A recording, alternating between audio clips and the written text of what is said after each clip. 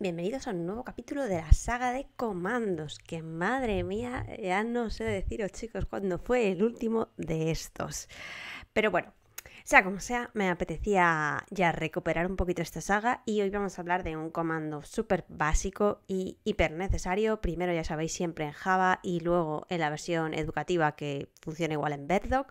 Y este es el comando fill. ¿Para qué podemos utilizar el comando fill? Pues para rellenar grandes espacios de terreno dentro del juego de manera rápida y no tener que hacerlo manualmente que a veces nos lleva más tiempo.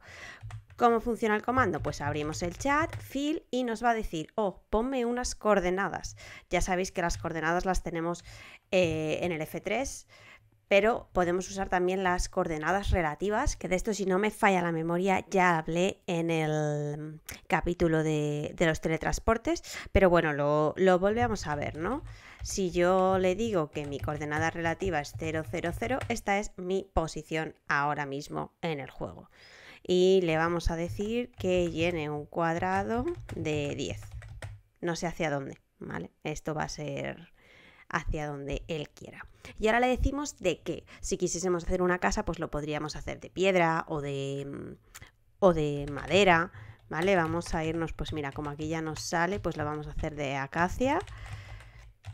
Y una vez que tenemos y le hemos dicho al, al comando de qué queremos que rellene, ¿no? Si nos fijamos primero hablamos de qué lugar, en qué lugar vamos a rellenarlo, de qué lo vamos a rellenar y luego tenemos cinco opciones diferentes.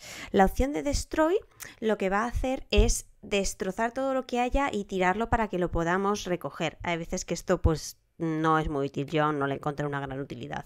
Hollow lo que va a hacer es hacerlo vacío por dentro, entonces este está guay si lo que queremos es hacer una casa en la que por dentro no va a haber nada, esto solo me va a hacer las paredes, ¿vale? No la vamos a lanzar todavía. Con Keep va a mantener todos los bloques que sean aire y el resto rellenarlos. Este tampoco, también os digo que yo tampoco le encontré una gran utilidad. Outline es muy parecido a Hollow, ¿vale? Nos hace la parte de fuera.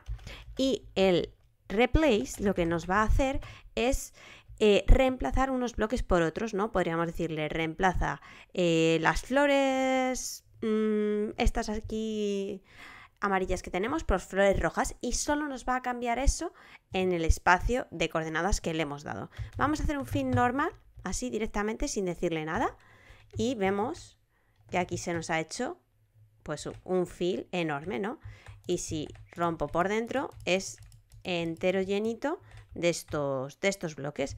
Voy a reducirlo, bueno, ya sabiendo hacia dónde va, voy a lanzarlo otra vez, pero en lugar de 10 vamos a hacerlo de 5 para, que no sea, para que sea un poquito más pequeño, ¿no? Que si no esto va a ser enorme. Y vamos a probar ahora con el Hollow, para que veáis lo que hace. Ahora en Hollow, si yo rompo, por dentro está vacío, lo que os digo. Para una casita, pues es mucho mejor, por ejemplo, utilizar el comando eh, con el Hollow al final. Vamos ahora a decirle en lugar de Hollow, Keep. ¿Vale? Esto va a mantener Veamos lo que hace, ¿vale? Lo hemos mandado y aquí como lo hemos puesto que había todo aire, pues lo ha reemplazado todo el aire. Es así un poquito cómo funciona. Disculpadme que se ha puesto a llover, vamos a limpiar y vamos a hacer que sea de día para estar más a gustito aquí haciendo cositas. Y vamos a darle al de outline, lo voy a hacer aquí arriba, un poquito en el cielo, yo que sé, me apetece. Y le decimos outline. Outline, veis que me ha hecho lo mismo que hace el hollow. ¿vale? Nos deja solo la parte de dentro, la parte de fuera rellena y lo de dentro vacío. Y que nos quedaba replace, ¿no?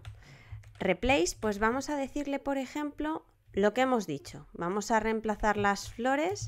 Me voy a venir a esta parte que es donde tenemos más flores, así un poquito aquí, y que el lugar de las flores, lo que vamos a rellenar, ¿no? Es con flores rojas que se llaman poppies y le decimos que queremos que reemplace a las dandelion, que son, que son las amarillas. Vamos a ver Y si nos venimos para acá, ¿veis cómo han cambiado? Estas son todas las que están en un radio de 5 eh, bloques hacia el lateral, que es lo que le hemos dicho aquí en las coordenadas. Esto, por ejemplo, también es súper útil si, por ejemplo, hacemos una construcción y luego decimos, ay, no me gusta este color. Pues una manera de hacerlo súper rápido es con el comando fill. Y hasta aquí llega, así resumidamente, lo que podemos hacer con este comando dentro de Java.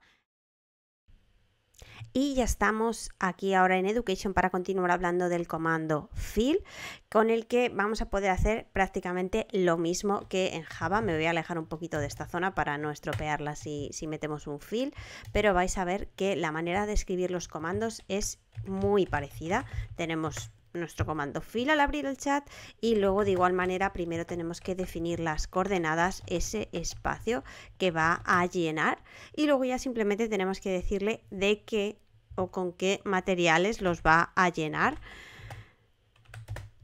Y luego, como veis, nos aparecen las mismas cinco opciones que ya teníamos antes. Destroy, Hollow, Keep, Online and Replace. Así que de igual manera van a funcionar como nos funcionaban en, en Java. Con destroy va a tirar los bloques que estén sobreponiéndose, ¿no? En, en hollow se hará solo la parte de, fuera y el dentro se quedará vacío. Con keep eh, mantendrá, mantendrá todo menos los bloques de aire. Con outline em, nos hace la parte de, de fuera, es un poco como hollow. Y con replace reemplaza totalmente y no va a tirar esos bloques como si hace en destroy. Así que vamos a lanzar, vamos a lanzar uno así normal para que veáis que, que va a funcionar exactamente igual que lo hacía en Java. Y como veis, el comando en sí tampoco cambia absolutamente nada, por lo que es súper sencillo de utilizar. Y hasta aquí llega el vídeo de hoy. Espero que os haya gustado, que os haya servido y si queréis que os enseñe a hacer más cosas con fil o ejemplos o, cualquier otro tipo de cosas, dejádmelo en los comentarios. Ya sabéis que también en la descripción del vídeo tenéis el enlace al blog con la estructura que tiene que tener este comando y también os dejo el enlace a la publicación con todos los comandos que se pueden utilizar en Minecraft Education actualizado, que seguramente ah, por las fechas que esté subiendo este vídeo ya habrá salido la nueva actualización y seguro que hay algunos comandos nuevos. Espero que os haya gustado el vídeo y nos vemos en el próximo.